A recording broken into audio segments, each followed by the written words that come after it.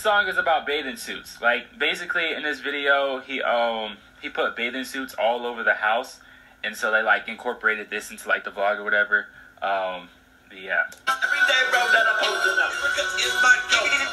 Living like a post-it note. Erica is my goat. Okay. You know, I don't know why he said goat because on Erica's merch, she always puts like cows and stuff on it. Like Erica's favorite animal is a cow, but I don't know why why he put goat. But I'm guessing because cow, a cow is a male goat. So like it makes sense on why he would say that. So like he's the male, she's the cow. So like he's basically sitting out there in a relationship, like Jerika, whatever. Um, yeah. So I'm, I see what he did there. That was actually kind of clever. Not gonna lie.